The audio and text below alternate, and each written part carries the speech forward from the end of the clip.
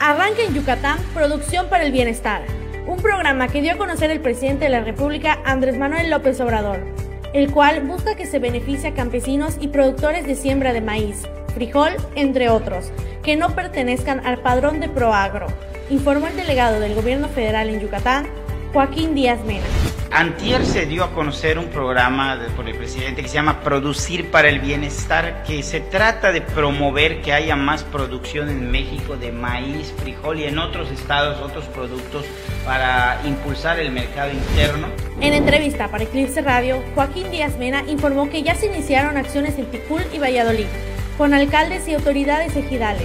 Ya empezamos a través de la Instituto Nacional de Pueblos Indígenas y de la SADER, lo que antes era la SAGARPA, estamos haciendo asambleas en las comunidades con los productores, con los ejidatarios.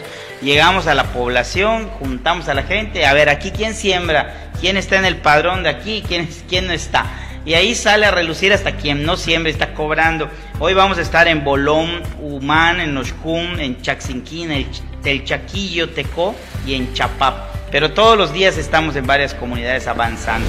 Puntualizó que durante el mes de febrero se continuarán realizando casa por casa el censo del bienestar, el cual lleva un avance del 70% en el estado. Asimismo, recalcó que de los más de 97 mil adultos mayores, quienes ya estaban registrados en el programa, se les está pagando ya el doble. Ellos automáticamente pasaron de cobrar 1.160 pesos al bimestre a 2.550 pesos. Que estamos promoviendo el de adultos mayores, que es un padrón grandísimo. Son 90 mil en promedio en Yucatán que ya estaban y que ya cobraron el doble. A eso le aunamos los que tenían una pensión de IMSS o ISTE que de manera automática ya les está llegando el pago al doble. Eh, cobraban 1.160, ahora cobran 2.550 al bimestre. Reportó para Eclipse Televisión, El González. Eclipse, Televisión Digital.